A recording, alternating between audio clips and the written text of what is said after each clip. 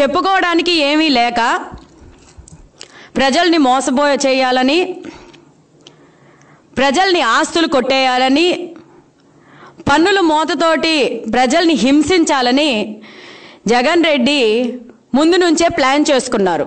ఆ ప్లాన్కి అనుగుణంగా మూడు రాజధానులు అనుకొని స్టార్ట్ చేశారు ఆ డ్రామా. ఆ మూడు రాజధానులలోని అతి కిరాతకంగా అతి దౌర్జన్యంగా అమానుషంగా ప్రజల్ని హింసించే క్యాపిటల్ ఏది అని అంటే ప్లాన్ ఐడియా ఏది అని అంటే విశాఖపట్నాన్ని నాశనం చేయటం. ఉత్తరాంధ్రని కంప్లీట్గా పాతాళంలోకి తొక్కేయడం జగన్ రెడ్డి ప్లాన్. ఎందుకంటే ఈరోజు మీరు చూడొచ్చు చిన్నపిల్లలు పసిపిల్లల్ని అడిగినా కూడా ఆ ల్యాండ్ ఎవరు కబ్జా చేశారు అని అంటే వాళ్ళ మూడు రంగులే చూపిస్తారు. అంత కబ్జా జరుగుతుంది విశాఖపట్నంలోని. మీరు గవర్నమెంట్ ల్యాండ్స్ అమ్మకానికి పెట్టేయండి. ప్రైవేట్ ల్యాండ్స్ మీ ఎంపీలు ఎమ్మెల్యేలు వాలంటీర్లతోటి కబ్జాలు చేయించేయండి. వేరే ఆస్తులు ఏదైతే ప్రజలు కష్టపడి రక్తం దార పోసి కొనుక్కున్నవన్నీ మీరు కబ్జాలు చేసేయడానికి మీరు ఫుల్ ఫ్లెజ్డ్గా ప్లాన్ వేసుకున్నారు. అందుకే మీరు విశాఖపట్నం రాజధాని కావాలి.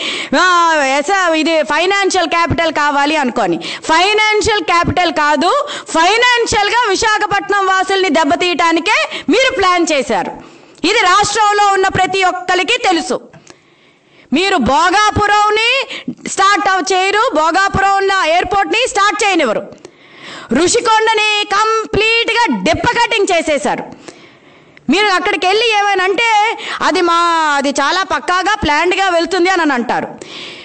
ఉత్తరాంధ్రలోని కాకుండా ఈ మూడు రాజధానులు కాకుండా ఏది సరే మీరు ఏదైనా సరే ప్లాన్ చేసినా ఒక్కటి మాత్రం వైఎస్ఆర్సీపీ వాళ్ళు ఖచ్చితంగా చేస్తారు. ఏంటి అని అంటే కులాల మధ్య ప్రాంతాల మధ్య వీటన్నిటిలోని విద్వేషం క్రియేట్ చేసి ప్రజల మధ్యలో కన్ఫ్యూషన్ చేసి వీళ్ళందరూ కొట్టుకుంటుంటే ఈ వైఎస్ఆర్సీపీ నాయకులు దండుకునే ప్లాన్లో ఉన్నారు.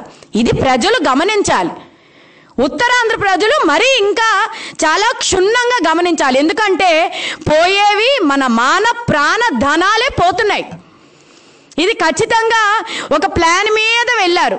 ఎందుకంటే ఇద్దరు రాక్షసుల్ని పెట్టారు అక్కడ గ్రహస్థకుల్లాగా తయారయ్యారు. వైవి సుబ్బారెడ్డిను ఆ విజయసాయి రెడ్డి వాళ్ళిద్దరికి ఇప్పుడు ఉత్తరాంధ్రలోని నాయకులందరూ ఉన్న తర్వాత కూడా వీళ్ళిద్దరిని అక్కడ పెట్టడానికి కారణం ఏంటి? వేరే నాయకులు నాయకులు కాదు వాళ్ళని తీసి పక్కన పడేసి ఈ ఇద్దరు కలిసి మొత్తం విశాఖని దండుకునే ప్లాన్ చేశారు.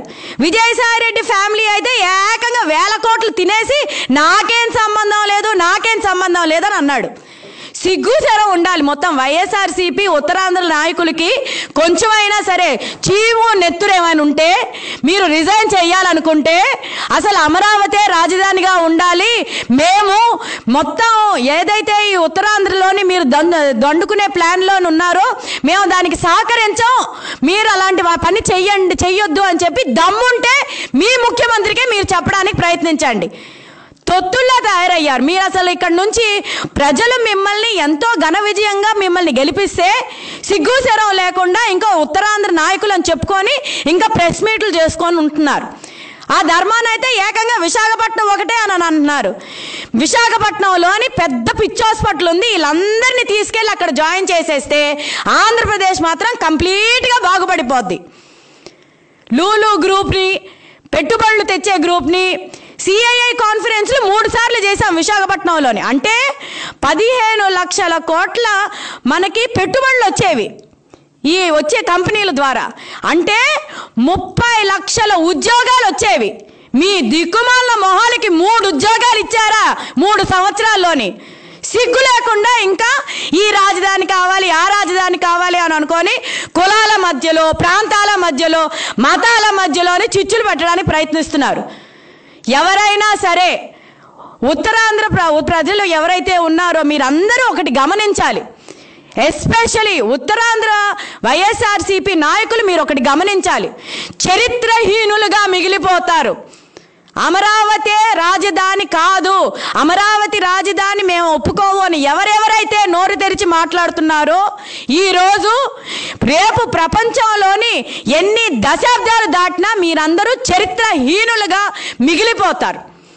టీడీపీ గవర్నమెంట్లోని ప్రతి ఒక్కటి ప్రణాళికతోటి ఎన్నో సంక్షేమ పథకాలు తీసుకొని వచ్చాం.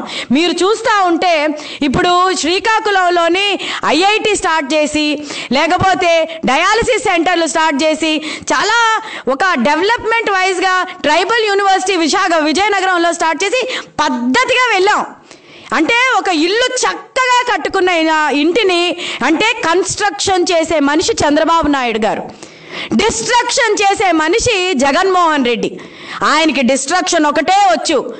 ఒక్క గుంతలోని మట్టేయలేని ఈ మనిషి మూడు రాజధానులు కడతాడు ఉత్తరాంధ్రకి మేలు చేస్తాడు అనుకోవడం మన అవివేకం. ఉత్తరాంధ్ర ప్రజలు గమనించాలి కళ్ళు తెరిచి చూడాలి. ఇలాంటి బోగస్ మాటలు మాట్లాడే నాయకుల్ని దయచేసి నమ్మకండి. మీరు ఎలాగో నమ్మరని తెలుసు. మీ తెలివితేటలతోటి మీ మీ దగ్గరికి ఇలాంటి బూటకపు మాటలు మాట్లాడే నాయకులు ఎవరైనా వస్తే సరైన సమాధానం మీరే చెప్పాలి.